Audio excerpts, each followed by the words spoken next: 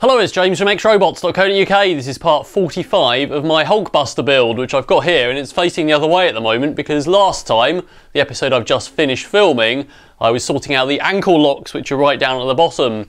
So I tried to walk in this suit and found I couldn't move sideways enough to shift my weight to walk. So I cut the ankles off and installed some locks in, which I did in the last two videos. But this time we're going to get back to some serious robotics and some serious mechanics, and we're going to sort out the helmet. So this is going to lift up and the faceplate's going to open, but I've never installed any motors in. So we're going to sort out some serious gears, which I'm going to 3D print hopefully, and we're going to get that functional today. Hello! Well, I put this all back on the workmate so I can reach it. So uh, what we've got is this whole helmet lifts up, and we've also got the faceplate retracts within that, so that can lift in as this can go up and I want to bring it back to about that sort of height. I've also got these little things which are on servos which come backwards so I need to motorise them as well although that's not too tricky. So those come forwards just as this comes so they pass within the shoulder plates here and obviously uh, the faceplate lastly goes down so we need basically a two stage sort of lifter.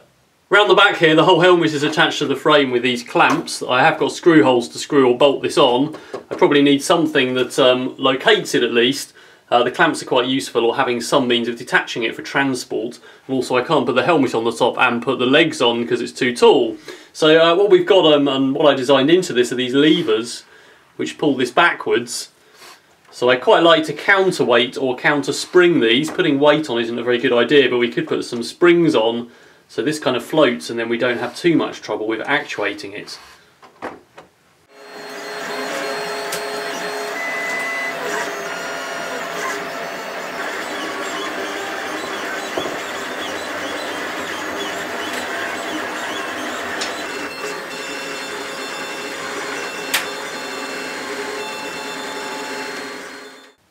3D printed some gears, so I've got a really big gear here which is the main output shaft and that's going to have a lever on it that pushes the helmet up.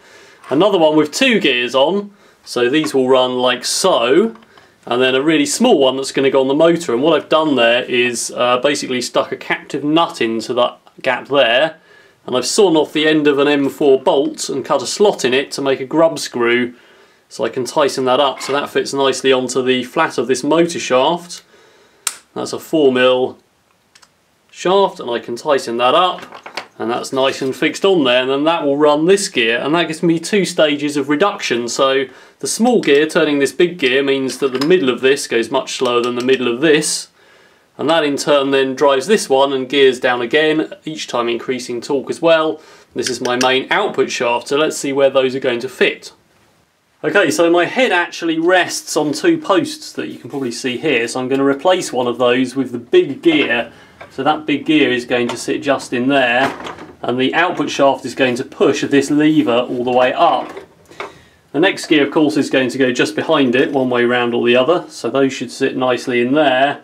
And then the one on the motor is going to sit behind, and they should all sit there hopefully, and then the effect is pushing this upwards. Of course these sticks are going to be balanced backwards with springs or bungees, so hopefully it should just be a case of moving it, and I won't need too much torque out of these.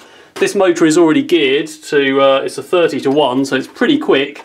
It already has a gear head on it, so I'm hoping that's going to be enough torque and it should be just around the right speed. Here's my gearbox assembly. It's fairly simplistic. It's two sides and a base. The base of course has this larger part on to mount the motor on the small gear and the other gears there have got um, just holes to stick some steel shafts through. So I am going to probably make some spacers to keep them in the right place but we'll see how it goes when it's together. And uh, basically these side pieces slot into slots in the base and that'll be solvent welded together. And I've got two screw holes there to screw it to the wood. So I'll get those printed and hopefully all those gears will run well together.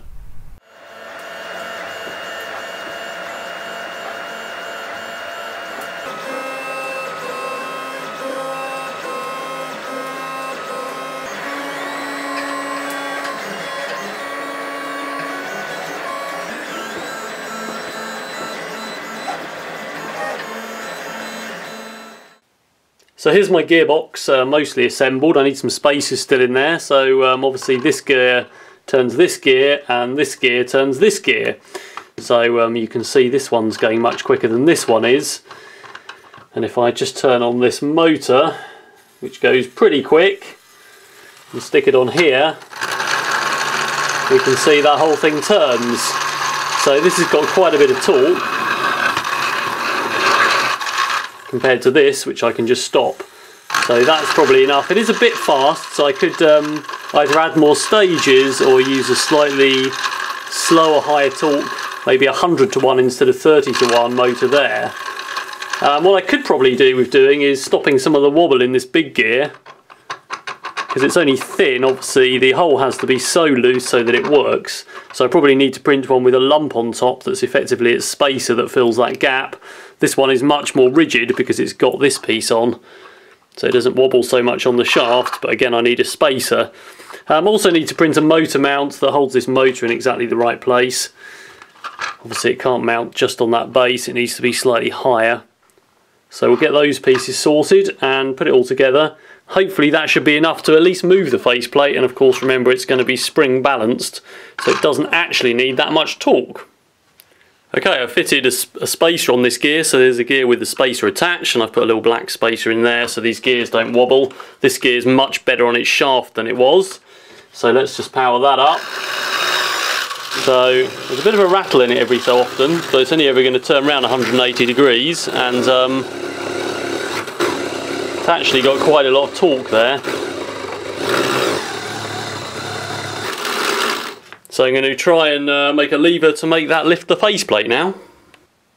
Alright, so I've installed this crank arm, which is uh, this thing here.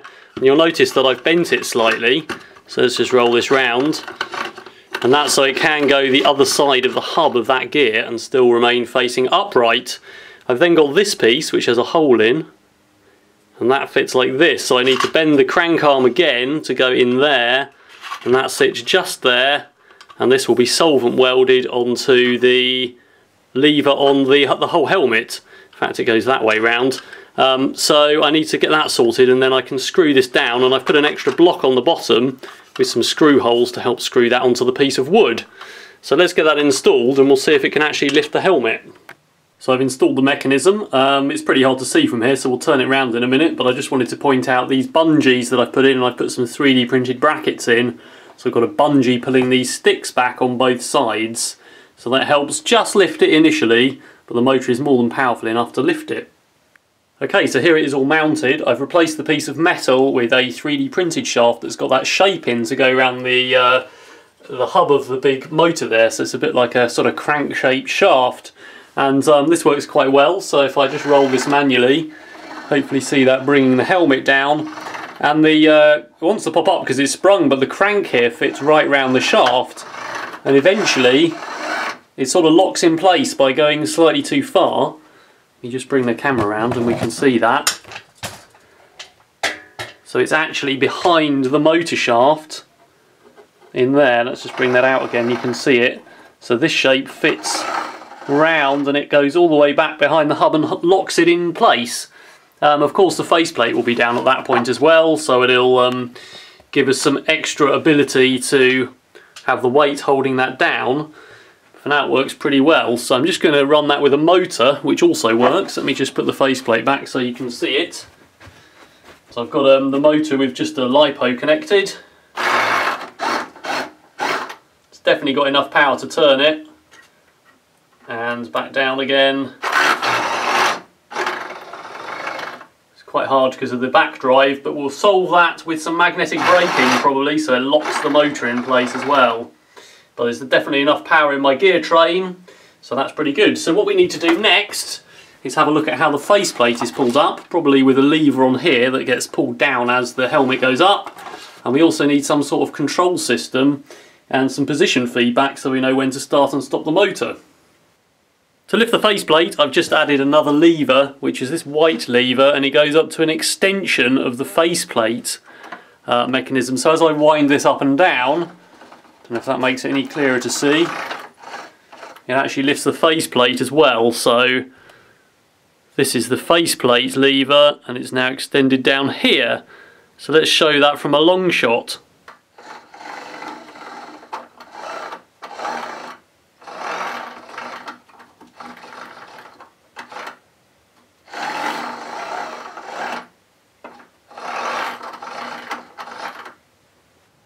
So what I've got set up here is an Arduino Uno and I really need to stop putting Arduinos in this suit and sort out the control system but for now I'm just going to demonstrate how this works with another Arduino. I've also got an L298 motor driver you can pick up pretty cheap and that will drive two motors, only need one in this case. So I've got two PWM pins that are essentially analog pins going from the Arduino into there. Uh, at the moment this is powered off USB but I've got V-in and ground wired to the same V-in for the motor input, so this will be powered off one LiPo. The Arduino has an onboard regulator, that is the V-in, not the 5 volt pin. Also have a potentiometer here, which is going to measure the helmet position. It's on a bracket ready to go on the back. Um, and I'm reading those into an analog pin, so the either side of the wiper, or at least either side of the pot is connected to 0 and 5 volts, and the wiper um, then varies in voltage as you turn it, so that's connected to analog 0. And uh, if we just come along here and have a look on my laptop screen, hopefully you can see a value getting written to the serial terminal. And as I turn the pot, that should go from 0 to 1023, which is 10-bit resolution. So I can use that to work out where the helmet is and decide which way to turn it uh, based on a button press. I've mounted my Arduino and so on on the back of the suit here, it's just temporarily with one screw just so I can get this set up. As I said I will come and do a proper control system for this. There's more in here which is a total mess so I need to sort something out really in the long run but for now it's good enough to set this up and get the code working. So I've got my potentiometer mounted here which is mounted on the axis of the uh, helmet pivoting back. So I've got this clamp which I've put in here and if we just zoom in on that it's kind of a split piece of plastic and it's solvent welded onto the post here. I have got a thing I can put a bolt in to squeeze it, but it's actually pretty um, pretty tight on the knob of the pot basically. And the back of the pot is bolted onto this bracket fixed onto the actual hinge point. So uh, the result of this is, let's just get the zoom just right so you can see, as I wind the gears, you should see that this part of the pot turns against the middle um, and I've still got my Arduino on a very long cable onto my laptop there so I can see uh, what the value is for the maximum and minimum travel. And this is the actual output shaft effectively of the um, actual whole helmet turning rather than the one on the gear. So it, basically that's the actual position it's measuring from that helmet being up and down rather than somewhere further back the gear train with all of that backlash between gears and things. So this should be a pretty accurate way to measure it. So now I just need to write some code which will use the L298 to drive the motor and I've attached two buttons so I can press one to open and one to close and it should drive it to the two end positions that I've just measured on there. I've now written all the code to control that helmet based on the potentiometer value and the switch inputs. So first of all I've uh, declared some integers there, so I've declared the analog pin is pin 0, I've declared a val variable for the actual value that it gets, um, which is an integer between 0 and 1023, and the two button values here, so these are uh, declared as inputs pull-ups, so you wire them to ground and otherwise they go high, so they start off as 1, and when they're triggered they go to zero. I've declared 5 and 6 as outputs, I'm using actually the digital write in this case, but I could use them as analog outputs because those are PWM pins, so I could do speed control, like acceleration, ramp up and ramp down if I wanted in the future. I've declared A0 as the analog input, although I don't think I need to because those are basically fixed analog inputs on the board. So uh, first of all in the main loop I'm reading that analog read into the val variable from the analog pin which is declared as 0. I'm also still printing this to the serial console if I want to do debugging or see what the value is. I'm also reading the two digital buttons into two variables called but1 and but2 um, and the rest of the loop is pretty simple. Um, I'm just saying there if one of the buttons is pressed, if but1 is 0 then while the value is bigger than the lowest point which I um, looked at that debug terminal to see what it was and it was 357 then write one of the pins high and the other one low and that makes the L298 turn the motor in one direction. Um, on each of these while loops we need to read the value so we can actually see what it is so the while loop knows what it is so it can keep doing that while it's a certain value. Um, so that's what that is. If the other button is pressed, it does the other thing. So um, it basically sees if it's smaller than the highest value, which was 472, and writes the other pin high. Um, and again, in each um, iteration of the while loop, it reads that pin to monitor it to see what the position is. Um, and otherwise, else If it's neither of those, then turn the motor off by writing both outputs low. And that also does a bit of magnetic braking by grounding both of the motor pins so magnetic flux can't flow back the other way and um, turn that motor back like we saw in the example where I was fishing around with crocodile clips. So I've programmed that up, let's see what it does.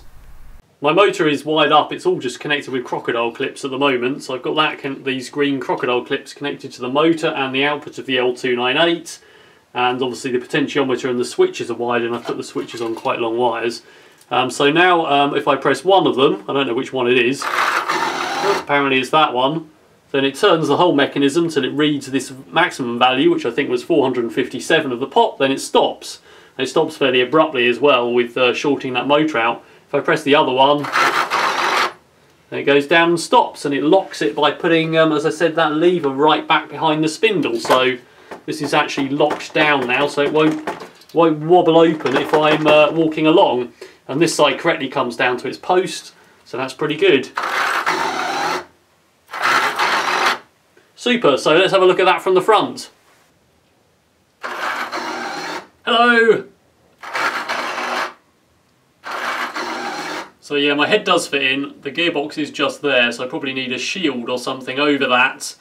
Um, I had my hair cut specially so my hair doesn't get caught in it, but I'm pretty happy with that overall. Yeah, that's pretty good. So I need to do something about the servos that operate these little flaps that you can see, but that's pretty easy to control, and that will come when I do the main control system. The other thing, of course, is to have the lights turn on in the eyes and all of that stuff, which is currently controlled from one of the Arduinos down here. And again, that'll be built into the suit eventually. But there we go, it seems to work pretty well. I'm going to decorate the inside of the helmet with lots of stuff, so when it's open it looks good. Uh, but for now, I'm pretty happy with the way that works.